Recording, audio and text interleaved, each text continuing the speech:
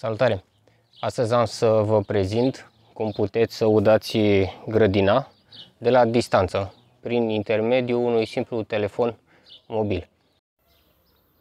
Am prezentat într-un alt videoclip cum ud eu grădina automat cu o priză programabilă și după cum vedeți arată foarte bine. Deja am și rod și la vinete, iar ardei arată chiar bine de tot. Uitați ce ardei mari.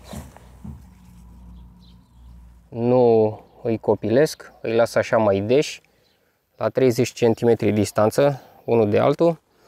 Vinetele au intrat și ele pe producție. Aceasta ar fi primul rod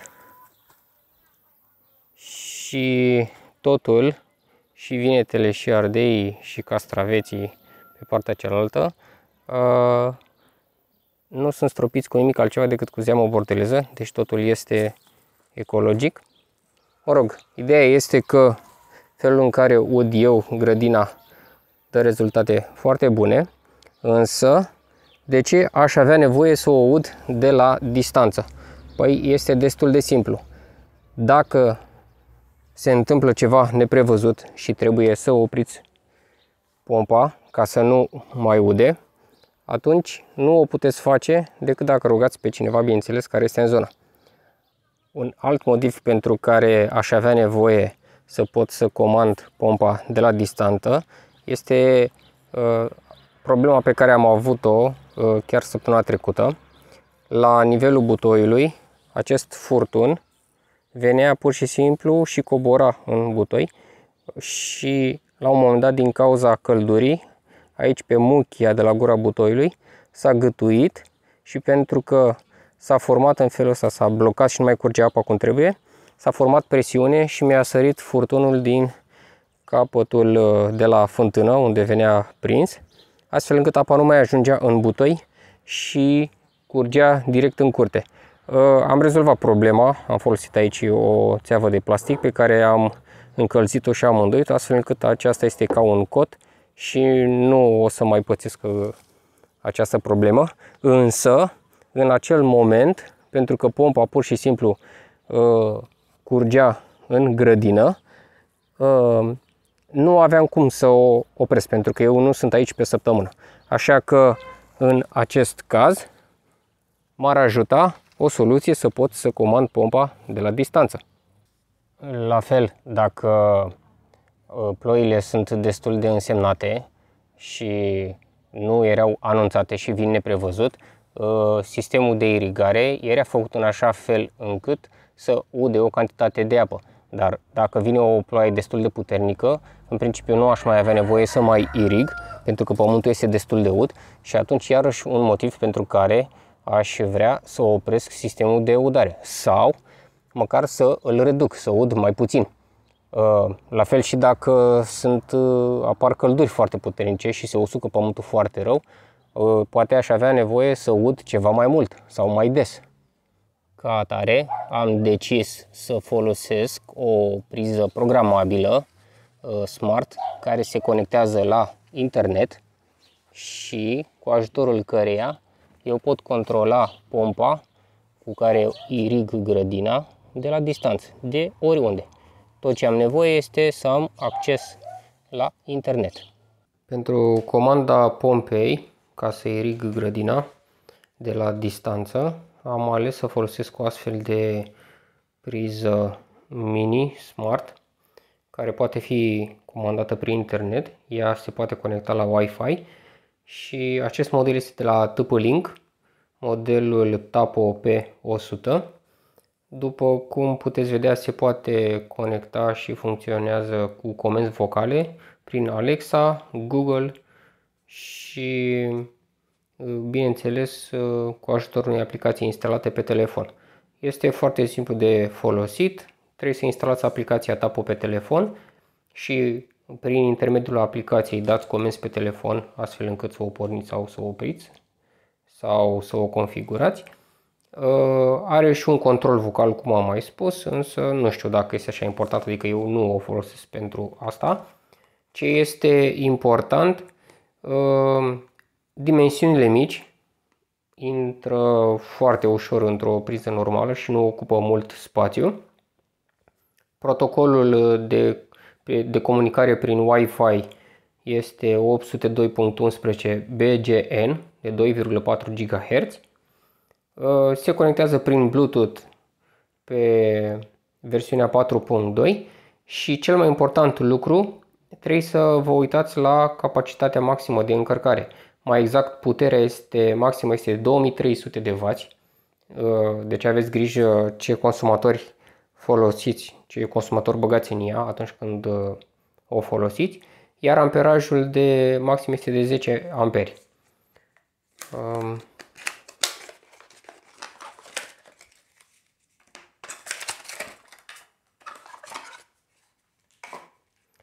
Cam așa arată. Este destul de micuță. Ocupă foarte puțin spațiu când uh, o băgați într-o priză normală.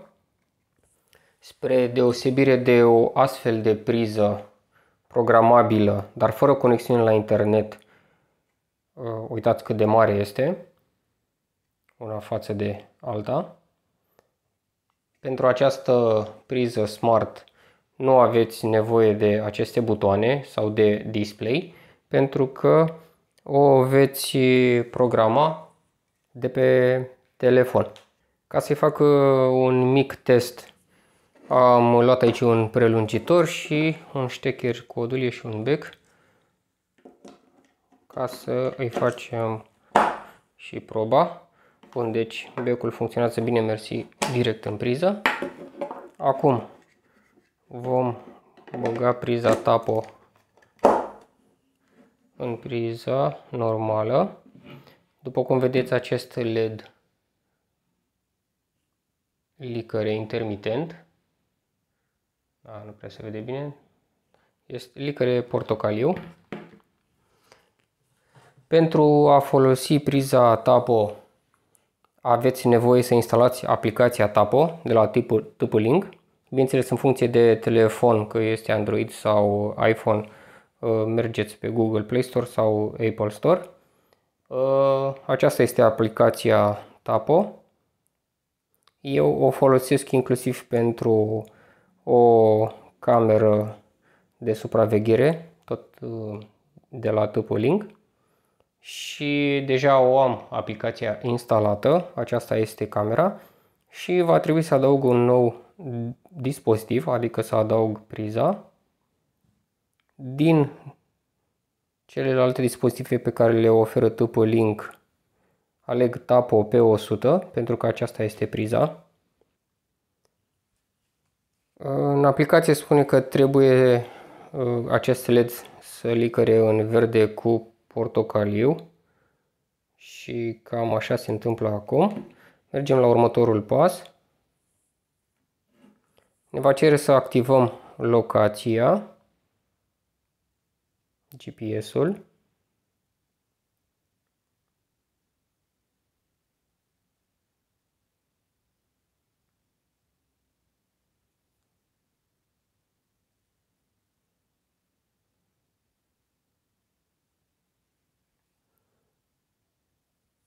3 să ținem telefonul aproape de priză pentru a se conecta prin Bluetooth. A găsit-o.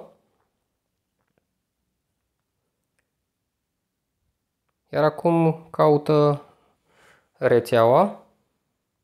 Ne vom conecta la rețea. Odată ce am introdus parola pentru rețeaua Wi-Fi,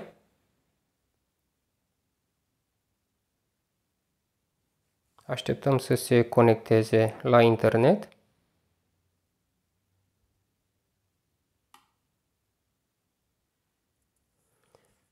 Îi vom da un nume. Putem să lăsăm și default, implicit așa cum este, Smart Plug. Și trebuie să și alegem o locație unde va fi uh, montată această priză. Um, în acest moment va fi de fapt pentru grădină, dar uh, haideți să zicem hallway pe hall. O iconiță pentru priză, o lăsăm pe aceasta.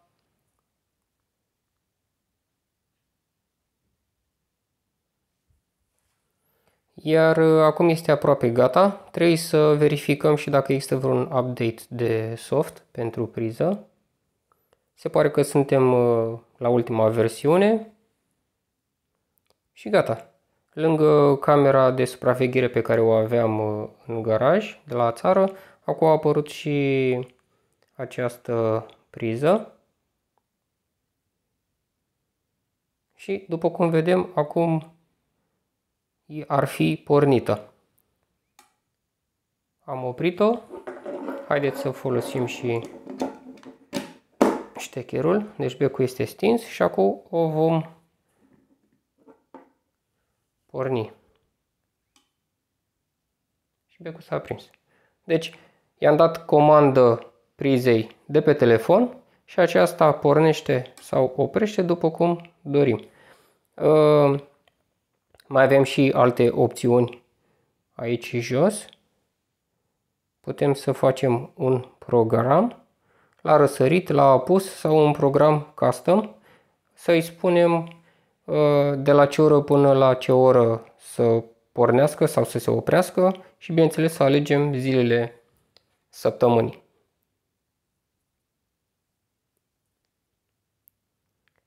Mai avem și opțiune de setare a programului când suntem plecați. Asta dacă plecați cumva în concediu. Și avem și un timer dacă dorim. Haideți să-l punem um, pentru 5 minute. Este prea mult. Un minut. Și să-i punem când timerul va expira să pornească priza. Deci acum este oprită și peste un minut când va expira timerul ar trebui să se aprindă becul.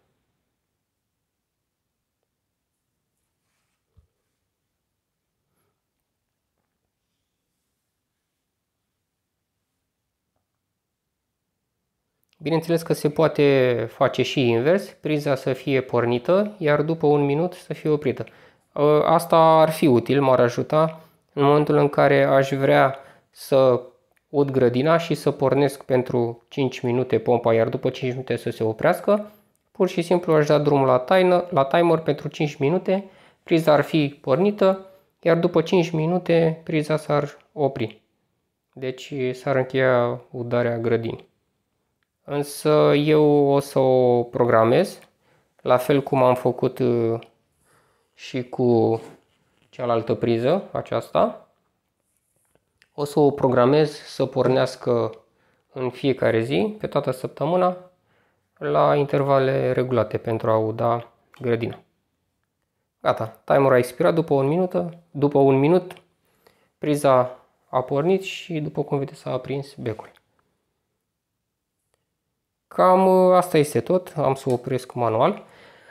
Cam asta este tot. Uh, după cum am spus, o să mă ajute foarte mult uh, ca să pot uh, să controlez irigarea grădinii de la distanță.